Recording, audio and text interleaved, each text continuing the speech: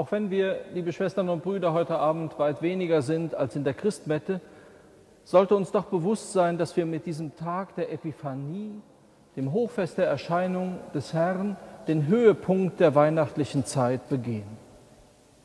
Alle die verschiedenen Rinnsale und Ströme, die wir seit dem Advent in den verschiedenen Schrifttexten bedacht haben, finden heute ihre Mitte und ihr Ziel. Gott zeigt sich ganz offen. Gott zeigt sich ganz offen, aber nicht nur in einem begrenzten Raum.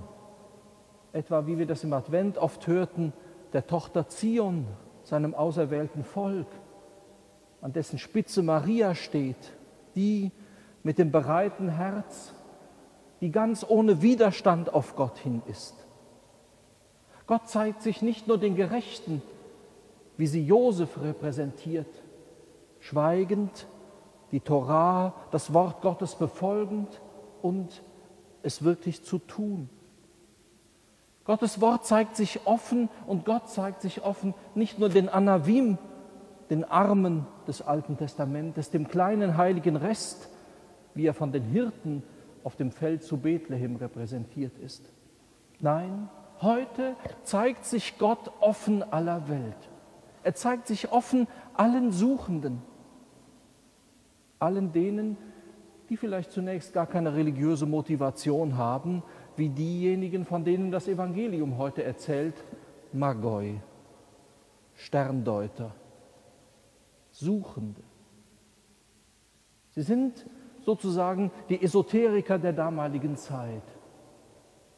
Sie sind solche, die keine religiöse Absicht haben, aber in ihrer Offenheit und Unverstelltheit anhand des Gegenstandes, mit dem sie sich beschäftigen, geführt werden und die nicht zu schnell aufgeben, die sich nicht mit vorschnellen Ergebnissen und Zielen zufrieden geben, die sich auch von den Palästen der Macht nicht täuschen lassen, denn über dem Haus des Herodes leuchtet jener Stern, dem sie gefolgt sind, nicht. Sie kommen zu ihrem Ziel, beladen mit ihren Schätzen, mit dem, was sie bringen, bei einem Kind. Bei, so könnten wir sagen, dem banalsten, was es unter Menschen gibt. Eine Mutter und ein Kind. Dort bleibt der Stern stehen, dort ist das Ziel ihres Lebens. Und dort geht ihnen etwas auf, dass der Stern, das, womit sie sich beschäftigt haben, was sie fasziniert hat, nur das Mittel zum Zweck war, nur das Vehikel, um zum eigentlichen Ziel zu kommen. Edith Stein sagt einmal an einer Stelle, wer immer nur suchend ist und forschend, auch wissenschaftlich, und sich nicht zu schnell zufrieden gibt, wird immer bei Gott herauskommen, wird immer an diesem Ziel enden. Wichtig ist die bleibende Wachheit und die Neugier. Das, was wir dann später in der christlichen Tradition Unterscheidung der Geister nennen, um sich nicht von Herodes inklusive der Schriftgelehrten täuschen zu lassen. Gott zeigt sich also heute ganz offen und er zeigt sich in erneuter Weise auch uns, in diesem Kind, das uns Maria darhält. Und was haben wir? Was bringen wir mit? Wie sollen wir diesem Gott, der sich zeigt in aller Offenheit, in dem der Advent zum Ziel kommt, in seiner Epiphanie, in seiner heilsamen Erscheinung, wie sollen wir ihm begegnen? Was haben wir ihm zu geben? Das Evangelium hilft uns. Es erzählt von den drei Schätzen, die diese Magoi mitgebracht haben. Gold, Weihrauch und Myrrhe. Wir haben eben in der Vesper schon in einem Psalmengebet eine Deutung gehört, die die Ostkirche bevorzugt. In diesen drei Gaben, so sagt die Ostkirche, die ja dieses große Fest mit uns gemeinsam feiert als ihr Weihnachtsfest, in diesen drei Gaben sind die drei Tage der Grabesruhe bezeichnet. Überhaupt ist dieser Tag ja voll von der Dreizahl, die drei Mysterien, die drei Wunder dieses Tages, die Anbetung der Magier, die Hochzeit zu Kana die Taufe Jesu im Jordan. Aber diese Dreizahl der Gaben findet auch in unserer westlichen Tradition eine ganz zahlreiche Auslegung. Was ist es also, was wir diesem sich zeigenden Gott in einem Kind in Bethlehem, was wir ihm zu geben haben? Wie können wir ihm in rechter Weise begegnen?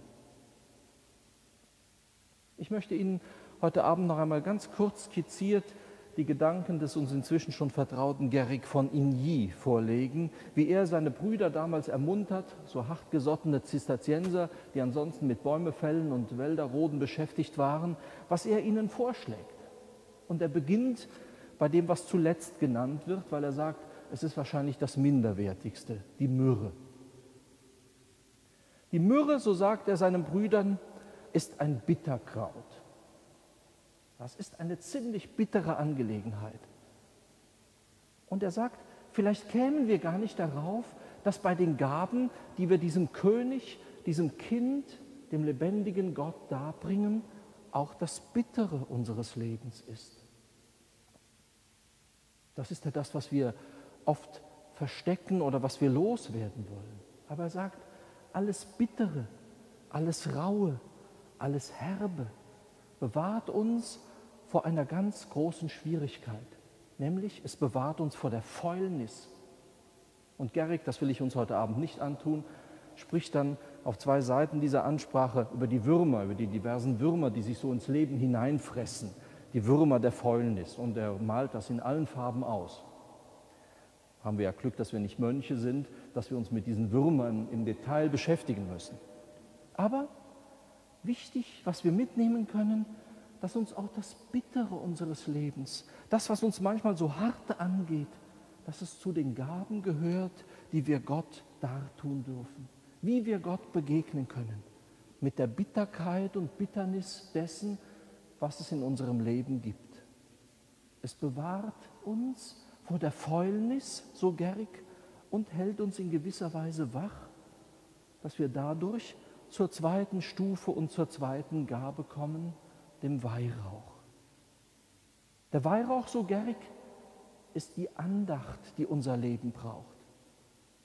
Und zu ihr finden wir erst, wenn wir das Bittere unseres Lebens angenommen haben, wenn wir uns durch dieses Bittere, ja, man könnte sagen, hindurchgefressen haben, wenn wir es, wir sagen das heute neudeutsch, verarbeitet haben, soweit man das kann, wenn wir es angenommen haben, dann finden wir zu einer rechten Andacht.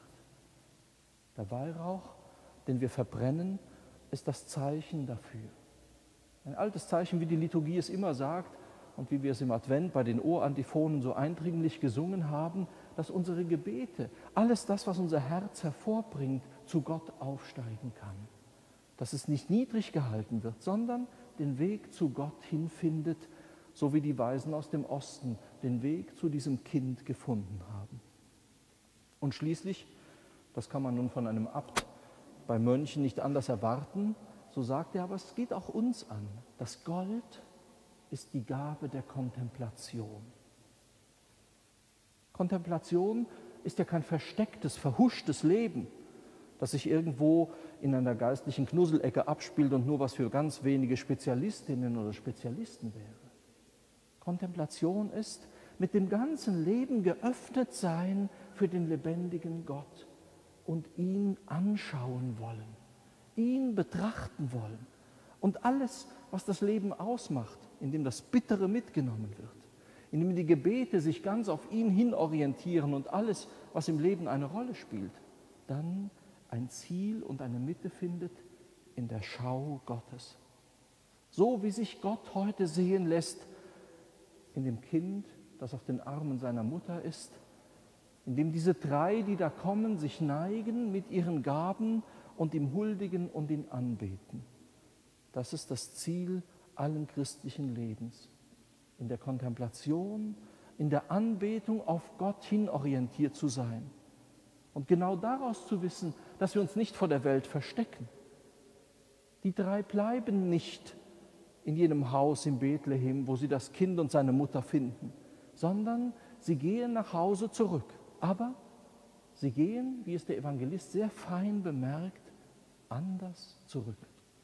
Auf einem anderen Weg. Nicht auf den Spuren, die die Macht ihnen weist, Herodes mit seinen Hintergedanken, sondern sie gehen anders zurück, weil sie verändert sind. weil sie schauende Menschen geworden sind, weil sie suchend waren und nun schauen durften, weil sie, so könnte man sagen, in der Kontemplation, der Betrachtung Gottes zu Hause sind. Gott, das Ziel unseres Lebens ist an diesem Tag, Menschen, die suchen und sich nicht täuschen lassen, zu einer Heimat geworden, zur Heimstätte, wo unser Leben, all unser Sehnen und Suchen mit allem Bitteren, Schönen und Wahren zum Ziel kommt.